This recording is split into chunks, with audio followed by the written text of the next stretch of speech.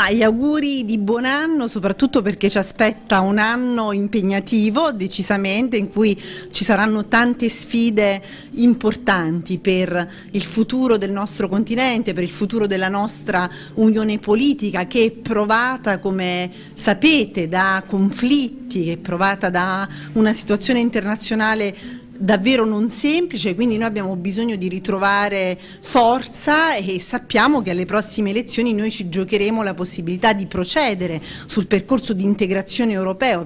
il percorso immaginato dai nostri padri fondatori oppure se inesorabilmente spostare all'indietro le lancette dell'orologio e dar ragione quindi a chi invece professa l'idea no, di tornare indietro rispetto ai nazionalismi vari e ad un'idea sbagliata eh, di Europa, di Europa delle piccole nazioni. Quindi l'appuntamento elettorale è decisamente importante, eh, quello che si giocherà a giugno e siamo qui ovviamente con tanti amici per parlarne e per fare un'analisi analisi insieme. Senta, toccherà anche a lei, considerando la vicina scadenza elettorale, mettere a posto un po' i cocci eh, per ciò che riguarda il partito a livello provinciale? Ma eh, sicuramente il partito vive una situazione non semplice, non tocca a me, tocca alla nostra comunità politica riscoprire il senso e l'orgoglio no, dell'appartenenza a questa grande famiglia politica che è quella del Partito Democratico che eh, è stata casa di grandi italiani, di grandi europeisti che si sono fatti onore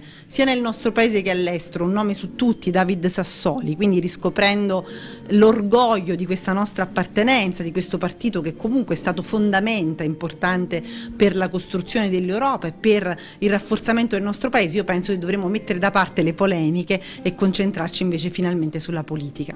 Auguri. Grazie.